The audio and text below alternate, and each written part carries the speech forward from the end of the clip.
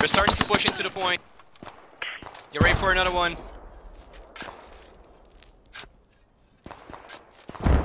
Watch for the moors.